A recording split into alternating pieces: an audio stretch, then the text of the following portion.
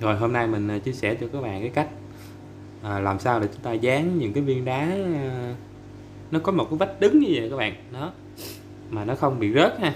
Thì à, mình cũng chia sẻ với các bạn đó là thì chúng ta dán bằng keo hay bằng xi măng cũng vậy thì chúng ta cứ dùng dây cố định lại. Nó treo nó lên như vậy các bạn. À, chứ chúng ta chứ nếu mà chúng ta dán mà nó không khô liền đó thì nó không treo lên thì rất là khó thôi các bạn. Ha. thì à, đây là mình à, nó sau khi mình định hình cái viên đá như thế nào rồi, mình treo, lấy cái dây mình treo lên. Đó, cái chân nó là chỉ, nó chỉ gá đỡ thôi chứ nó không có có chịu vô cái chân nha. Tất cả là bằng dây hết. Đây các bạn? Thì à, mình cũng chia sẻ với các bạn đó là khi khi các bạn dán keo, dán dán đá làm tiểu cảnh á, mà với cái dòng à, nhỏ nhỏ mini như vậy á, thì chúng ta nên dùng keo ha các bạn. Dùng keo thì nó sẽ thứ nhất là nó bền hơn. Các bạn có thể dùng dùng một chút xíu keo thôi thì nó cũng đã cứng rồi nếu các bạn dùng xi măng á thì các bạn phải dùng một số lượng lớn thì nó mới ờ, nó mới cứng được và nó mới bền được. Chứ còn không á, thì các bạn dùng một cái cái lượng mà xi măng ít á, thì ờ, các bạn dán vô một cái khay hoặc một cái đĩa như vậy á thì nó nhất định là nó sẽ dột ra các bạn. Tại vì ờ, xi măng thứ nhất là nó không cứng nó không cứng bằng keo. Cái thứ cái thứ hai nữa là các bạn phải dùng nhiều. Đó mà các bạn dùng nhiều thì khi mà chúng ta làm tiểu cảnh mà các bạn dùng nhiều xi măng quá thì sau này mà chúng ta không giấu được cái xi măng thì nhìn nó nó không có đẹp ha.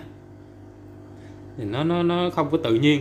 Đó các bạn dùng một keo nhỏ thôi một lớp keo mỏng như vậy nè. Đó thì sau khi chúng ta làm xong người ta phủ lớp đất lên là nhìn không thấy keo nữa là nhìn nó sẽ tự nhiên hơn.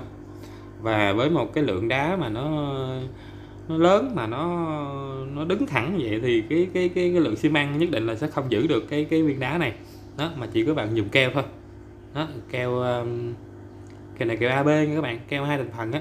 Keo này mình có để hình ở trên cái ờ, fanpage của mình đó các bạn có thể lên xem. Đó, thì sau khi ờ, ờ, uh, 12 tiếng thì mình uh, cắt dây ra cho các bạn xem nè. Đó. Thì các bạn thấy nè. Đó. Nó rất là cứng các bạn ha. Đó các bạn thấy không? Keo một chút xíu thôi nhưng mà với một cục đá như vậy á là cái keo này nó chịu được các bạn ha. Nó nó không có bị rớt ha. Chứ còn người xi măng mà các bạn dùng một miếng nhỏ như vậy thì chắc định là sẽ rớt. Ha nhất định là sẽ rớt liền không giữ được. Đó thì ờ, các bạn làm tiểu cảnh ha thì nên dùng keo ha.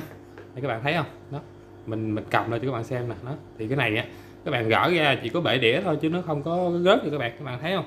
Đó một cái viên đá bự mà mình dán đứng như vậy thì nó rất là chắc nha các bạn. Đó, thì uh, chia sẻ cho các bạn cái cách chúng ta làm đá làm tiểu cảnh nha. Rồi xin chào. Hẹn gặp các bạn những clip sau.